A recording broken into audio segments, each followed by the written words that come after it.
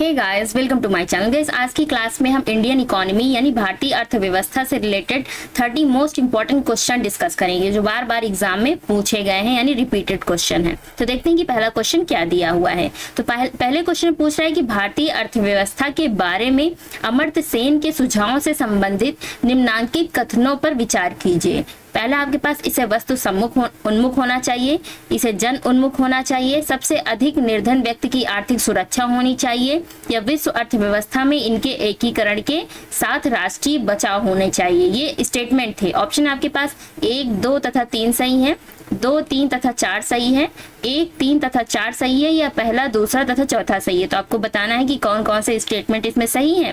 तो यहाँ आपका दूसरा, तीसरा और चौथा, ये तीनों स्टेटमेंट आपके सही हैं, जो कि बी ऑप्शन में दिया है तो बी ऑप्शन आपका करेक्ट हो जाएगा। नेक्स्ट क्वेश्चन देखते हैं। नेक्स्ट क्वेश्चन में कह रहा है कि ब्रिटिश शासन के आगमन से पहले भारत की स्वतंत्र अर्थव्यवस्था थी। उस समय निम्नलिखित में से कौन सा प्रमुख व्यवसाय नहीं था? यानी जो ब्रिटिश शासन आया, उससे पहले जो भारत की अर्थव्यवस्था थी इकोनॉमी थी, वो कैसी थी? स्वतंत्र थी। स्वतंत्र अर्थव्यवस्था थी। आज के टाइम में मिक्स्ड इकोनॉमी है। तो उस समय निम्नलिखित में से कौन सा प्रमुख व्यवसाय, यानी बिज़नेस नहीं था? कृषि हस्तशिल्प निर्माण या पर्यटन। तो यहाँ जो आपका राइट ऑप्शन हो जाएगा हो जाएगा ऑप्शन नंबर डी पर्यटन। नेक्स्ट क्वेश्चन देखते हैं। नेक्स्ट क्वेश्चन में कह रहा है कि आवश्यकता विहीनता सिद्धांत के प्रतिपादक अर्थशास्त्री कौन है? नीलकंठ रथ प्रोफेसर प्रोफेसर जे के मेहता वी एन गाडगिल या अमर्त्य सेन? तो यहाँ राइट ऑप्शन कौन सा हो जाएगा आपका? प्रोफेसर जे के मेहता। नेक्स्ट क्वेश्चन देखते हैं। इसमें कह रहा है कि भारतीय अर्थव्यवस्था का मेरुदंड कौन सा क्षेत्र है? सेवा क्षेत्र, वित्तीय क्षेत्र, पर्यटन क्षेत्र या कृषि क्षेत्र? तो यहाँ आपका डी ऑप्शन सही होगा, कृषि क्षेत्र। भारत कैसा देश है? कृषि प्रधान देश है। तो यहाँ भारतीय अर्थव्यवस्था का जो मेरुदंड है, वो कौन सा हो जाएगा? कृषि हो जाएगा। तो यहाँ डी ऑप्शन करेक्ट है। क्वेश्चन देखते हैं। इसमें कह रहे हैं कि निम्नलिखित में से कौन सा रोज़गार प्राथमिक क्षेत्र से जुड़ा नहीं है? ऑप्शन आपके पास टोकरी बुनने वाला, माली कुम्हार या पुजारी? तो यहाँ आपका डी ऑप्शन सही हो जाएगा।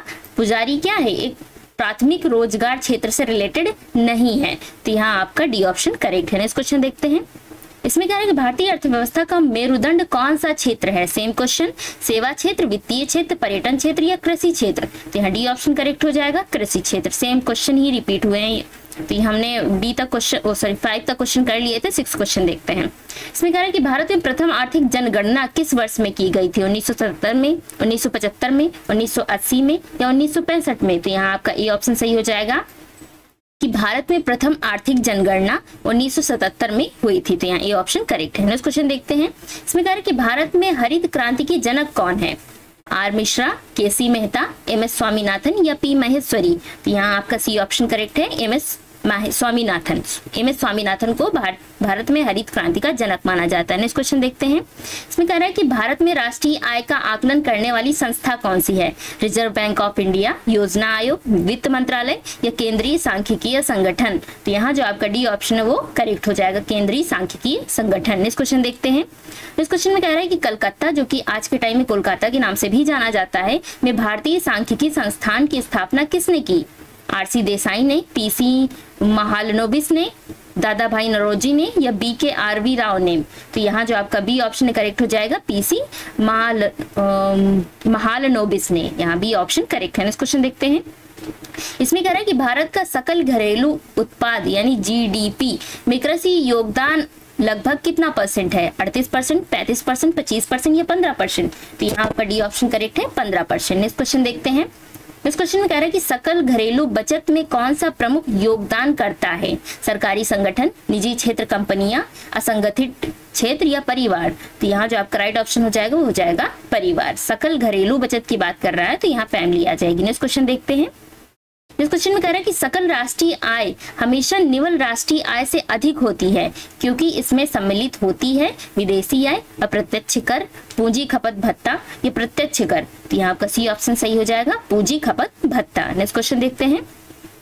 नेक्स्ट क्वेश्चन कह रहा है कि वर्ष 2014-15 की तुलना में भारत की प्रति व्यक्ति आय वर्ष 2015-16 में कितने प्रतिशत की वृद्धि हुई थी? 6.1 percent seven percent seven percent या 7.72 परसेंट तो यहाँ आपका बी ऑप्शन सही हो जाएगा 7.4 परसेंट की बढ़त हुई थी, वृद्धि हुई थी। नेक्स्ट क्वेश्चन देखते हैं। इसमें कह रहा है उन्नीस में भारत में प्रति व्यक्ति की वार्षिक आय कितनी थी? दो सौ उनचास रुपए, तीन सौ उनचास दशमलव छह ज़ीरो या चार सौ उनचास दशमलव छह ज़ीरो या पाँच सौ उनचास दशमलव छह ज़ीरो। तो यहाँ राइट ऑप्शन कौन सा हो जाएगा? ये ऑप्शन करेक्ट हो जाएगा। उन्नीस में भारत में प्रति व्यक्ति की वार्षिक आय जो थी, वो थी दो सौ अंचानवे दशमलव सिक्स ज़ीरो रुपए। तो यहाँ आपका ये ऑप्शन करेक्ट है नेक्स्ट क्वेश्चन देखते हैं। इसमें कह रहा है कि कुछ भारतीय अर्थशास्त्री ब्रिटिश ब्रिटिश शासन के दौरान भारत की राष्ट्रीय आय का मूल्यांकन करने का प्रयास करते थे। निम्नलिखित में से कौन अर्थशास्त्री नहीं थे? Dadabhai Naoroji, V K R V Rao, R C Desai या प्रशांत चंद्र महाल महाल नोबिस? तो यहाँ राइट ऑप्शन जो है वो हो जाएगा प्रशांत चंद्र महाल नोबिस।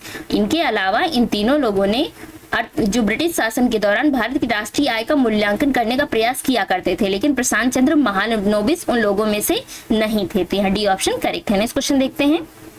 इस क्वेश्चन में कह रहा है कि कितनी प्रतिशत भारतीय जनसंख्या की आजीविका का प्राथमिक स्रोत कृषि है। चौवन परसेंट, अट्ठावन परसेंट, बासठ परसेंट या छाछठ परसेंट। तो यहाँ आपका जो राइट ऑप्शन हो जाएगा, वो हो जाएगा चौवन परसेंट। नेक्स्ट क्वेश्चन देखते हैं। इस क्वेश्चन में कह रहा है कि कौन सा भारतीय अर्थव्यवस्था का प्राथमिक क्षेत्र है? कृषि उद्योग, सहकारिता या इनमें से कोई नहीं? तो यहाँ जो आपका ए ऑप्शन करेक्ट हो जाएगा कृषि क्यों? क्योंकि हमारा जो देश है, वो कृषि प्रधान देश है। तो हमारी अर्थव्यवस्था का जो मेन सोर्स है, वो कृषि ही है। नेक्स्ट क्वेश्चन देखते हैं। फिर कह रहे हैं कि भारत ने किस देश में भारत, अफ्रीका, कृषि और ग्रामीण विकास संस्थान, जिसे ए आई आई ए आर डी के नाम से भी जाने जाने जाता है, की स्थापना के लिए National Bank for Agriculture and Rural Development Consultancy Services के 7 अप्रैल 2019 में समझौता ज्ञापन पर हस्ताक्षर किए हैं। ऑप्शन आपके पास जाम्बिया, मलावी, तंजानिया या केन्या। तो यहाँ जो आपका राइट ऑप्शन हो जाएगा, वो हो जाएगा option number B Malawi. Next question देखते हैं। इसमें कह रहा है कि भूरी क्रांति किसको बदल देने पर केंद्रित है? चाय और कॉफ़ी के उत्पादन में वृद्धि, कच्चे चमड़े के उत्पादन में वृद्धि उर्वरकों के उत्पादन में वृद्धि या इनमें से कोई नहीं? तो यहाँ जो आपका राइट ऑप्शन हो जाएगा, वो हो जाएगा सी उर्वरकों के उत्पादन में वृद्धि। नेक्स्ट क्वेश्चन देखते हैं। इसमें कह रहा है कि निम्नलिखित में से कौन सा पीत क्रांति से रिलेटेड है? मत्स्य उत्पादन, अनाज उत्पादन, दुग्ध उत्पादन या तिलहन उत्पादन? तो यहाँ जो आपका राइट ऑप्शन हो जाएगा, वो हो जाएगा ऑप्शन नंबर सी दुग्ध उत्पादन। नेक्स्ट क्वेश्चन देखते हैं। नेक्स्ट क्वेश्चन में कह रहा है कि कृषि निर्यात नीति 2018 का लक्ष्य वर्ष 2022 तक भारत के कृषि निर्यात को यूएसएस कितने तक बढ़ाना है? 40 मिलियन से अधिक 60 बिलियन से अधिक 50 बिलियन से अधिक या 70 बिलियन से अधिक? तो यहाँ जो आपका राइट ऑप्शन हो जाएगा, वो हो जाएगा 60 बिलियन से अधिक। बी ऑप्शन करेक्ट है नेक्स्ट क्वेश्चन देखते हैं। इसमें कह रहे हैं, निम्नलिखित में से किस क्रांति ने तिलहनों के उत्पादन में वृद्धि उत्पन्न की? हरित क्रांति, श्वेत क्रांति स्वर्ण क्रांति या पीली क्रांति? तो यहाँ जो आपका डी ऑप्शन वो सही हो जाएगा, पीली क्रांति। नेक्स्ट क्वेश्चन देखते हैं। नेक्स्ट क्वेश्चन में कह रहा है कि विशेष कृषि क्षेत्र स्थापित करने वाला पहला भारतीय राज्य कौन था? ऑप्शन आपके पास तमिलनाडु, पंजाब, उत्तराखंड या गुजरात। तो राइट ऑप्शन कौन सा हो जाएगा इसका? सी ऑप्शन करेक्ट हो जाएगा। उत्तराखंड, विशेष कृषि क्षेत्र स्थापित करने वाला पहला भारतीय राज्य जो था, वो था उत्तराखंड। तो सी ऑप्शन आपका करेक्ट है। नेक्स्ट क्वेश्चन देखते हैं। इसमें कह रहे हैं कि सामान्यतः किसान क्रेडिट कार्ड निम्न में से किसके द्वारा निर्गत नहीं होता है? नाबार्ड, व्यापारिक बैंकों द्वारा, सहकारी बैंकों द्वारा या क्षेत्रीय ग्रामीण बैंकों द्वारा? तो इसमें से राइट ऑप्शन कौन सा हो जाएगा? यहाँ जो आपका ए ऑप्शन सही हो जाएगा, नाबार्ड द्वारा निर्गत नहीं होता है। नेक्स्ट क्वेश्चन देखते हैं। इसमें कह रहे हैं कि न्यूनतम समर्थन मूल्य का निर्धारक है। भारतीय कृषि अनुसंधान परिषद, राज्य सरकार, कृषि लागत एवं मूल्य आयोग, या इनमें से कोई नहीं। तो राइट ऑप्शन कौन सा हो जाएगा इसका? ए ऑप्शन करेक्ट हो जाएगा। न्यूनतम समर्थन मूल्य का जो निर्धारक है, वह भारतीय कृषि अनुसंधान परिषद। नेक्स्ट क्वेश्चन देखते हैं। इसमें कह रहे हैं कि निम्नलिखित में से कौन सी उपज न्यूनतम समर्थन मूल्य यानी एमएसपी के अंतर्गत नहीं आता है? तंबाकू, कोपरा, सब्ज़ी या फल या पटसन। तो राइट ऑप्शन कौन सा हो जाएगा इसका? यहाँ आपका बी ऑप्शन सही हो जाएगा, कोपरा। नेक्स्ट क्वेश्चन देखते हैं। इस क्वेश्चन में कह रहे हैं धान का न्यूनतम समर्थन मूल्य है, कितना है? तेरह सौ प्रति क्विंटल, तेरह सौ पच्चीस रुपए प्रति क्विंटल, या चौदह सौ दस रुपए प्रति क्विंटल, या तेरह सौ सत्तर रुपए प्रति क्विंटल? तो यहाँ जो आपका राइट ऑप्शन हो जाएगा, वो हो जाएगा चौदह सौ दस रुपए प्रति क्विंटल धान का न्यूनतम समर्थन मूल्य है। नेक्स्ट क्वेश्चन देखते हैं। नेक्स्ट क्वेश्चन कह रहा है कि किसी फ़सल को सहायता देने के लिए सरकार निम्नलिखित में से कौन सी घोषणा करती है? अधिकतम समर्थन मूल्य, न्यूनतम समर्थन मूल्य, मध्यम समर्थन मूल्य या प्रभावी समर्थन मूल्य। तो यहाँ आपका बी ऑप्शन सही हो जाएगा, न्यूनतम समर्थन मूल्य। नेक्स्ट क्वेश्चन देखते हैं। इस क्वेश्चन कह रहा है कि भूरी क्रांति किसको बदल देने पर केंद्रित है? चाय और कॉफ़ी के उत्पादन में वृद्धि, कच्चे चमड़े के उत्पादन में वृद्धि, उर्वरकों के उत्पादन में वृद्धि या इनमें से कोई नहीं? तो यहाँ जो आपका सी ऑप्शन है, सही हो जाएगा, उर्वरकों के उत्पादन में वृद्धि। नेक्स्ट क्वेश्चन देखते हैं। इसमें कह रहा है कि निम्नलिखित में से कौन सा पीत क्रांति से रिलेटेड नहीं है? सॉरी है। कौन सा पीत क्रांति से रिलेटेड है? मत्स्य उत्पादन, अनाज उत्पादन, दुग्ध उत्पादन या तिलहन उत्पादन? तो राइट ऑप्शन कौन सा हो जाएगा इसका? डी ऑप्शन सही हो जाएगा, तिलहन उत्पादन। तो इस वीडियो में हमने टोटल थर्टी क्वेश्चन डिस्कस किए हैं। सभी क्वेश्चन एग्ज़ाम के पॉइंट ऑफ़ व्यू से इंपॉर्टेंट है। तो एक बार आप अच्छे से रीड कर लीजिए और इन्हें याद भी कर लीजिए।